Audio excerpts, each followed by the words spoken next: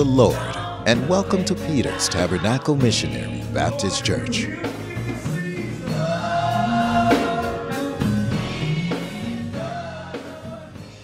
And in many of our churches, our churches aren't even full. Now, don't get me wrong, it's not about numbers. But at the same time, we have to begin to ask ourselves, are we thinking kingdom? Because every time we, many of us are called to the ministry, we think it's time to leave and go start a church. Are we thinking kingdom? We can't stay in the same church and use the gifts that God has given us to actually build up the local assembly that we're part of because we think because we've had a strong testimony and somebody said they heard God, they heard God while you were testifying that you were called to preach. You have your initial sermon and you absolutely say nothing, but you know how to entertain. And so then you go out and you start a church. Now this is the thing. Let's think about it. Let's process it. So now we've already got 50 churches with all of these resources split up in all these different churches. All of us have desires to do certain things, but we don't have the funds. We pay 50 different mortgages in 50 different buildings instead of being humble and being able to stay where God has called you and be able to serve. How much more could we do? if we shut down a few of those churches and we all came together under one common goal to be able to do kingdom.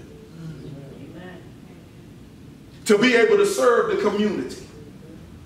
Because you can forget if you think that the United States government is going to be able to fund everything that we have need of. In fact, sometimes that can become dangerous when you depend on the government to do everything for you. And especially if we're a believer, because sometimes we look to the government to do everything, but we forget about God. And so God is saying, now you have created another God. My mind goes back to the children of Israel. It was never his desire for them to have a king. But because they wanted what they saw everybody else have, they wanted one too. So it goes back to the Word of God. All of us has to dig in. When the man of God is up here preaching and teaching his heart out, we have to buy in. We have to really want the Word of God. Not just only for ourselves, but to change the atmosphere and the environment that is around us. We have to really desire to do the work of the ministry so we can see kingdom principles manifested in the earth. We got to walk in integrity. There's no way to keep the integrity of the gospel if we individually have no integrity. If we have no moral compass. If we want to do things our way. There's no way to keep the integrity of the gospel. When you hear false teaching and false doctrine, we as leaders, we can't be cowardly. My Savior. We have to protect the sheep that God has assigned us to. We have to speak out when there's false teaching and false doctrine. This is what Jude, the third chapter, says. It says, Beloved, when I gave all diligence to write unto you of the common salvation, it was needful for me to write unto you and exhort you that ye should earnestly contend for the faith which was once delivered unto the saints. In other words, you got to fight for it. Do you love the word of God so much that you will fight over it, that you will struggle over it when you see people using his word so maliciously? I've seen it. Been in church all my life. This Bible is one of it is the most awesome book in the world. But in the hands of the wrong person, it can be the most dangerous book. Whenever you have a person when their heart isn't right, and they take the scriptures to, to manipulate them in such a way to mess with you and to have you thinking and doing things that's ungodly. So we have to have men and women of God. And I want to challenge you tonight.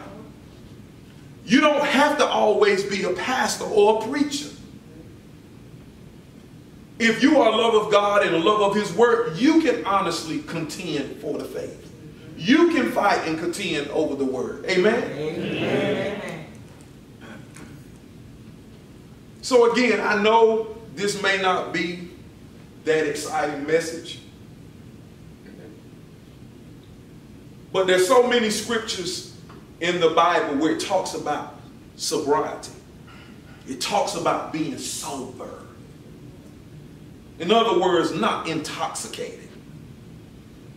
Because a lot of times we're intoxicated on so many things. In other words, we're not thinking clearly on what it is that God is calling for us to do in this season. Hear what I'm saying? We have to get to a place that we actually hear God and know what He's saying in this season. And I'm about to close. I close with one of my other favorite scriptures. It's First Chronicles 12 and 32. And it says, And of the children of Issachar, which were men that had understanding of the times, to know what Israel ought to do. The heads of them were 200, and all their brethren were at their commandment. But I want to deal with the first part of that scripture. It says, And of the children of Issachar, which were men that had understanding of the times. They understood what time they were living in. And with understanding the time that they were living in, it says they also knew what to do in this time. And the only way that we're going to know what time it is and know what to do is to be before God. Amen. Amen. It has to be in the presence. You have to be in the presence of God. You have to be in his word. You have to have a prayer life. It's non-negotiable. It's a must. I believe God still heals. I believe that he still delivers. Lord knows I believe that he still saves. I believe that. But I don't believe we have to have gimmicks in order for that to take place. Thank you, Lord. Over the last year of just being in church and preaching the word of God, we have seen God do some miraculous things. Amen. Just by preaching and teaching the word of God, not tainted with entertainment, not tainted with my ideas and my philosophies. It was one young lady came and spoke with us, and she had told us about how she had to go to the doctor. And she said that she was going to have to have surgery to have some tumors removed. And so she told, asked us to be praying. And so we said, of course, we'll be praying. My wife and I said, we'll be praying for you. And so being a few weeks later, when it was about time for the surgery, she said, she came back to us after church and she told us, she said, she said, Pastor, I got something to tell you. She said, I went back to the doctor and they could only find one small one.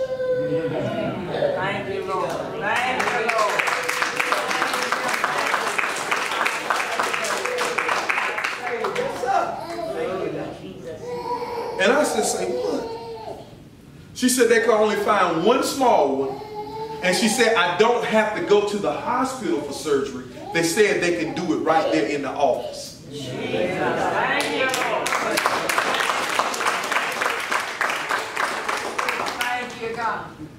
And so, as I sat there or stood there, I was like, oh my God. And cousin Jerry, we didn't drench him in oil. We didn't do like some of these people with mental issues, call them up, get the oil bottle and pour it on top of their head. All we did was just preach the word. And there's oftentimes I stand there and I'll just pray at the end of service and I'll just say, God, you know. You created these bodies. You know exactly what they're going through. God, you know how to touch them. And sometimes, I'll be honest, I love it that way because then you don't start looking at me and trying to create an idol out of me.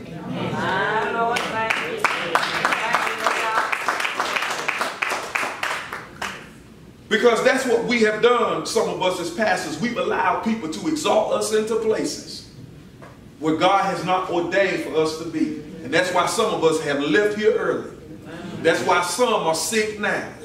Because we got caught up in the emotions and the feelings of someone looking up to us. And so every time you need prayer, oh, I'm going to bring them to you, Pastor. Well, what about you praying for me? Amen. Praise God. The same God, the same Jesus that's in me is in you.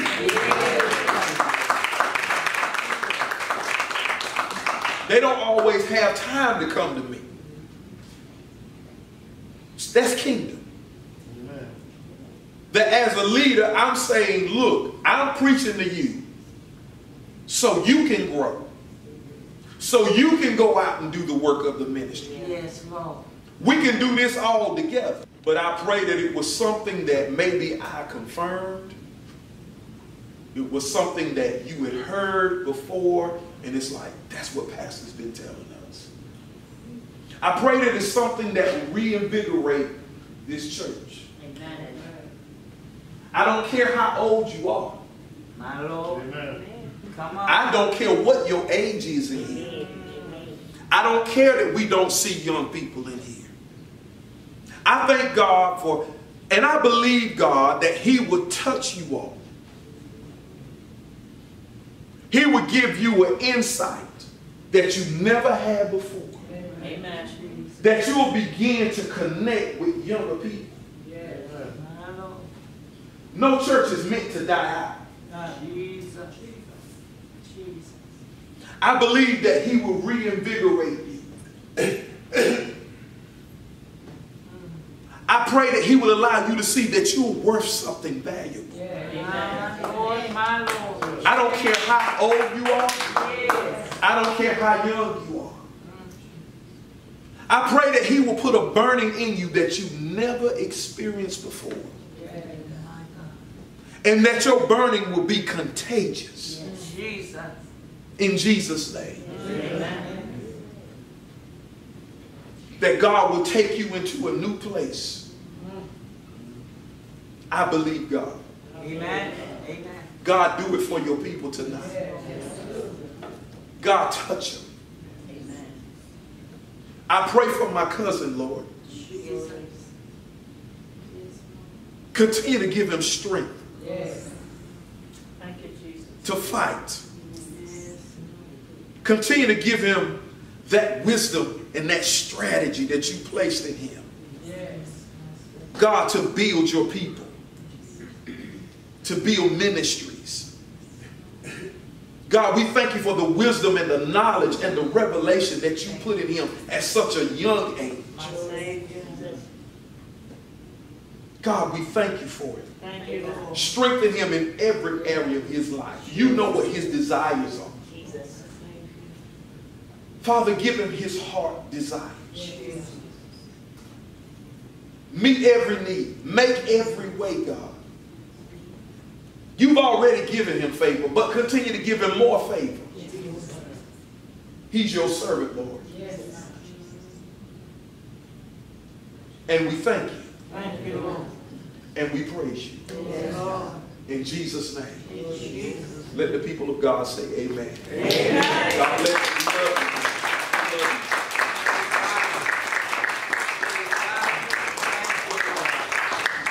Thank you, Lord. May the people of God say amen. Amen. Amen. I asked the question that was found in the 24th chapter of the Gospel of Luke during the Emmaus walk. And it's a question that we've all heard, but I'm going to ask it. Did our hearts not burn? May the people of God say, Amen.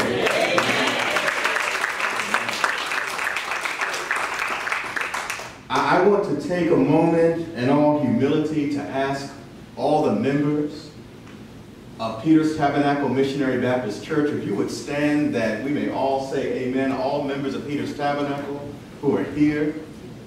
Amen. The people of God.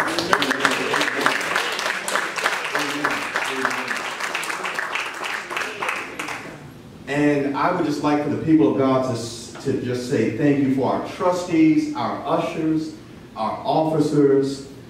During COVID, I, I was not here. I was, um, to, to use biblical language, I, I was out in, in, in the dispersion. I was out in the Midwest, but we'll call it the dispersion during that time, doing ministry. And it was the membership of Peter's Tabernacle and the community of Ironman that kept this great church that's been here since we will soon be celebrating 155 years. Lord.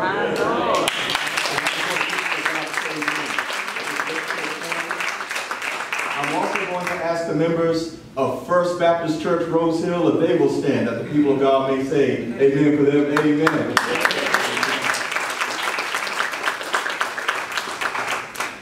We thank God for Brother Batts. We thank God for all of our members. From my understanding, we also have a number of visitors who are here. We just want to take a moment to recognize our visitors. I know we have visitors who are um, joining us. If you would stand that we may say amen for you and recognize our visitors and our guests who are here. Amen. Praise God. Amen. I am um, simply going to step, a, step aside that my cousin, Elder Reginald Grimes, Pastor Reginald Grimes of, and I'm going to say this, I don't know if the word the is in the name of your church, but, um, and I'm not an Ohio State fan, but I don't mind taking good stuff from people whenever I like it, and they have a way of saying the Ohio State, so I'm going to say the pastor of the Holy Ghost. The. And I I just, again, want to express my sincerest thanks, cousin, to you, to your family. Amen. And I would be remiss, and before I take my seat, if we can say amen for this marvelous, blessed choir that has blessed our hearts.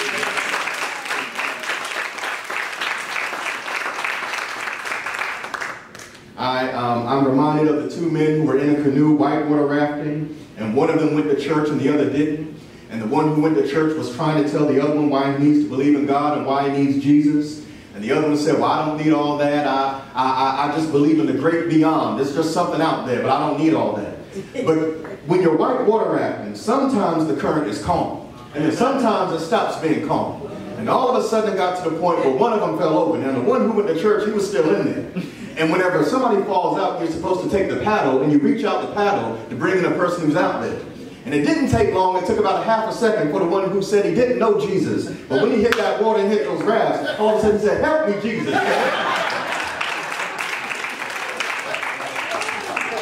so if we take nothing else from this evening, there's somebody out in this world, some woman, some man, some child who is in need of Jesus, and we want to communicate to them the truth of the gospel so that whenever they run into the storms of life, they're able to just throw up their hands and say, help me, Jesus. Amen. Praise God. Amen. Well, we just bless God again for being here. I thank God for my cousin for him extending this opportunity to our church. And we're just honored to come here. I, I pray that our services to you on this evening have been pleasing. It's our job that we serve. It's not about always being served, but we want to make sure that we serve God's people. And we want to leave them with something. Amen. Amen. Praise Uh, and Holy Ghost Cathedral, would you please stand? Amen.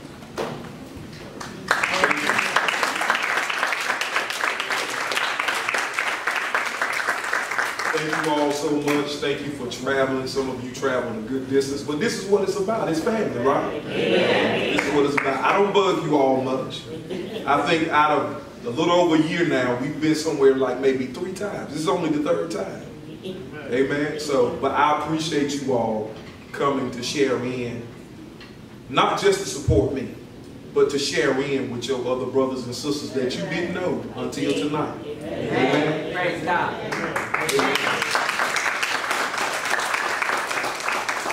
And so when we leave Holy Ghost Cathedral, when we leave on tonight, let's not just leave saying we went to Peter's Tabernacle. Let's keep them in prayer. Amen. Praise Let's God.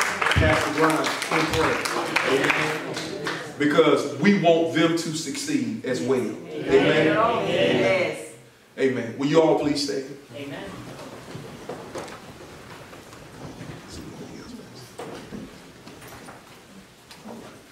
Let's lift our hands. Father, in Jesus' name, again, we thank you for all that has been said and done on this evening. Father, we thank you for your love. We thank you for your grace. We thank you for your Holy Spirit.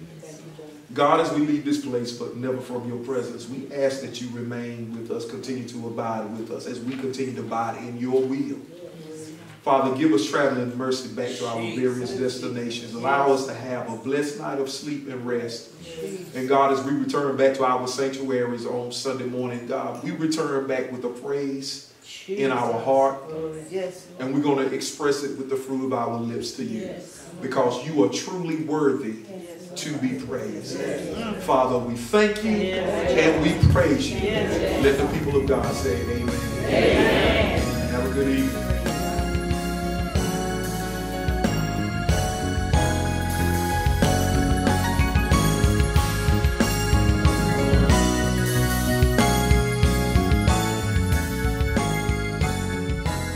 Thank you for joining us at Peter's Tabernacle Missionary Baptist Church, and may the grace and peace of our Lord be with you always.